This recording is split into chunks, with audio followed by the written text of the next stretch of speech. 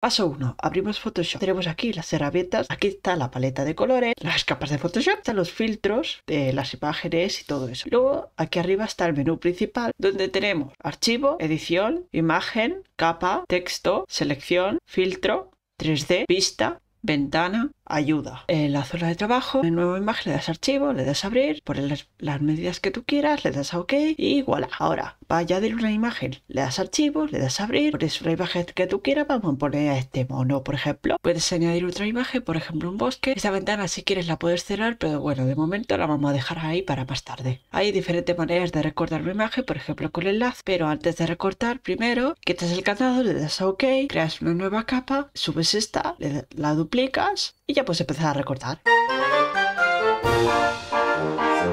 Una vez seleccionada la imagen, cogemos, quitamos la imagen de aquí para ver cómo ha quedado recortada la imagen, le damos aquí al más, movemos la imagen donde queramos, por ejemplo aquí en el bosque, y voilà. Para transformar la imagen, muy sencillo, clica Shift, le das a la esquina y como ves se puede cambiar el tamaño de la imagen, pero si lo sueltas el Shift, el tamaño de la imagen se deforma. Otra manera de recortar la imagen es como un, pincelito que tiene una redonda, le das aquí y empieza a seleccionar la imagen. Luego el proceso es el mismo y una tercera forma de recortar una imagen es con una pluma que tenemos abajo. Vale, ahora vamos a aprender un par de cosas básicas de Photoshop. Primero vamos a quitar el candado le damos a OK, creamos nueva capa. Para poner un color sólido, clicas en la cubeta, le das aquí, se pone el color que tú quieras. Si quieres otro, pues pones aquí el rojo, por ejemplo, clicas aquí y se cambia. Y así sucesivamente con todos los colores que quieres cambiar. Si quieres borrar el color, no pasa nada, suprimir y ya está. O también puedes borrarlo de otra manera, que es con la goma.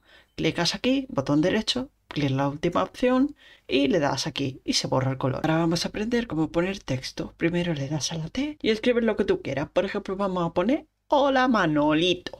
Para cambiar el color muy sencillo, seleccionas la letra, le das aquí y selecciona el color que tú quieras, por ejemplo de color negro, le das a OK y para cambiar el estilo de letra que tú quieras le das aquí, le das a la flechita y eliges. Otra manera muy sencilla de cambiar la letra, te vas aquí y escribes simplemente el nombre directamente del tipo de letra que tú quieras poner. Y para ponerle efectos a la letra, pues sencillo, te vas aquí, le das doble clic y te va a salir una pestaña como es. Pones el efecto que tú quieras y estos son diferentes atajos que te pueden servir de ayuda en Photoshop.